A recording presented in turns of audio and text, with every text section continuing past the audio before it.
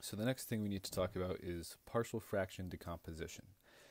And this is just a process of essentially reverse adding or subtracting fractions or rational expressions, right, is I guess the algebraic term.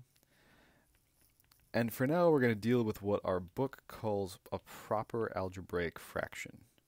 And this is one in which the degree of the numerator is a fraction, in which the degree of the numerator is less than the degree of the denominator.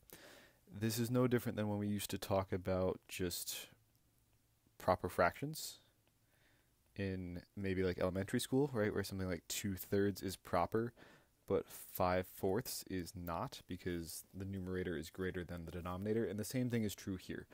But for now, all we're going to deal with with partial fraction decomposition are these proper fractions. We'll deal with improper fractions maybe later on. This is a process that is not as complicated as it sounds. Um, and there are a few simple steps that we can follow to make this work. So the first thing we're going to do is we're going to focus on the denominator and we're going to factor the denom- uh, denominator. So I know that x squared plus x minus 2 is going to factor into x plus 2 times x minus 1. Right, if we think about adding fractions, I have like 3 fifths plus 2 thirds. Well, I had to get a common denominator of 15 somewhere, right? And I had gotten that by multiplying my denominators together. And that's kind of what I'm trying to figure out here is what would I have multiplied together in order to get my denominator? And that's kind of what this factoring step undoes. So first thing is to factor the denominator. Good, we're done. This gives us the denominators of our decomposition. So I can take these denominators and I can express my fraction my rational expression as the sum of two smaller rational expressions whose denominators are x plus 2 and x minus 1. We don't know what our numerators are yet. Whoops. We don't know what our numerators are yet, so we're just going to call them a and b for now. So I've got some kind of structure, right? I know sort of what's about to happen here the next thing I need to do, that's not the color I wanted to use, to make this maybe a little bit easier to work with, is to actually combine these fractions, which maybe feels like I'm undoing what we're what we just accomplished or what we're trying to do, but I promise it's going to help. So we're going to combine the fractions on the right hand side. RHS for right hand side. So we're just going to carry down my left hand side for consistency. And as per usual, we're going to cross multiply. So my common denominator becomes x plus 2, x minus 1.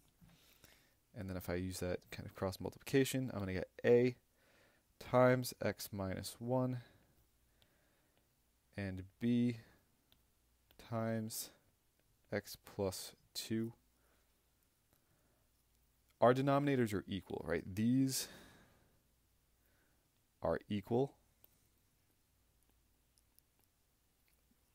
And of course, one of the properties we have is that, say, I have like A over C and B over C, then A and sorry, then A and B are equal to each other, and I can basically ignore the denominator, and that's exactly what I'm going to do here.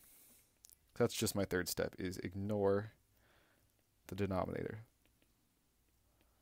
I have a really hard time saying that word for some reason, um, but essentially what I'm left with is 2x minus 5 equals a times x plus x minus 1, excuse me, plus b, I'll write it in in a minute, times x plus 2, just like this.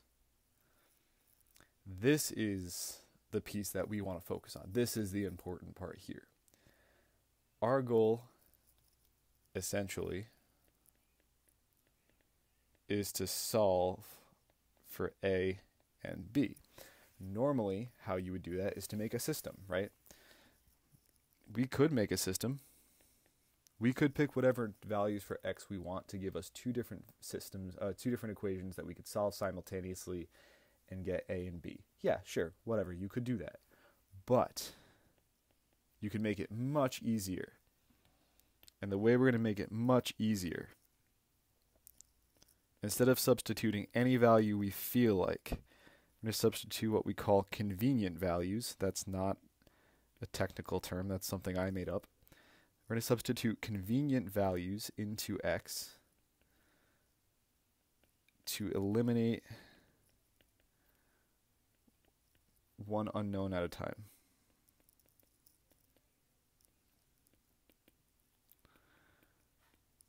We're going to repeat this step as often as we need to.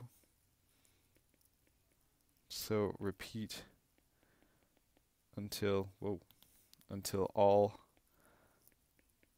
unknowns are solved for. Alright, so the first one, if I want to solve for A,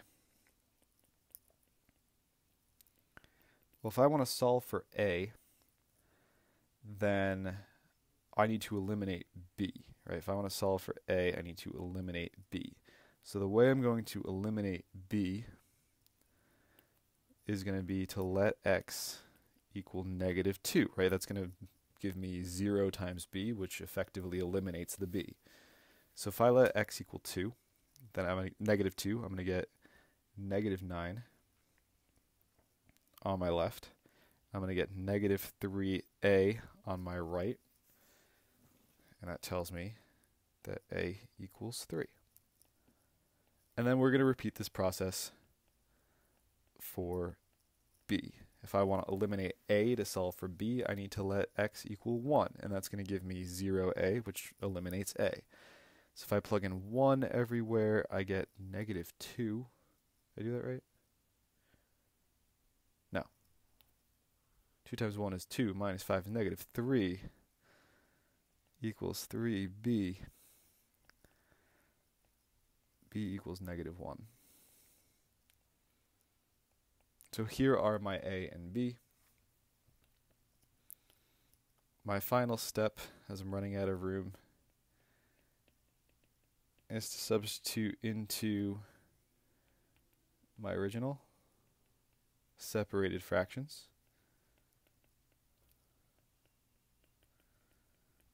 And all that is is to say take my A and my B and put them back into where they belong up here.